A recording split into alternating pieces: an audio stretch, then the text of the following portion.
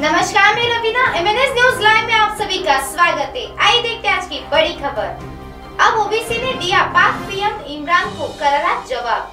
बुलंदशहर हिस्सा पर बॉलीवुड अभिनेता नसीरुद्दीन शाह के बयान पर विवादित बयान के बाद पाक, पाकिस्तान के प्रधानमंत्री इमरान खान द्वारा दिए गए बयान पर नसीरुद्दीन को करारा जवाब देने के बाद अब मुस्लिम ए आई एम एम आई के अध्यक्ष असीरुद्दीन पाकिस्तान के प्रधानमंत्री को भारत में अल्पसंख्यकों की स्थिति पर दिए गए उनके बयान को लेकर पलटवार किया है।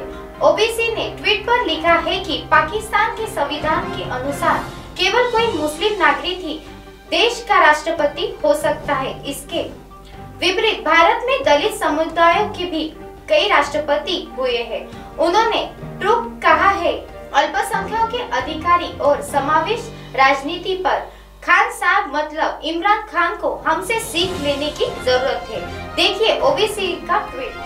गैर मतलब है कि बुलंदशहर हिस्सा पर बॉलीवुड अभिनेता नसीरुद्दीन शाह है कि हमें अपनी देखभाल कैसी करनी चाहिए? इस तरीके पाकिस्तान के पीएम इमरान खान को करारा जवाब। तो खबरों में आज के लिए इतना ही। M N S news live की खबरें देखने के लिए आज ही प्ले स्टोर से एम हिंदी ऐप आज ही प्ले स्टोर ऐसी डाउनलोड करें और हमारे चैनल को सब्सक्राइब करना ना भूलें। तब तक के लिए धन्यवाद।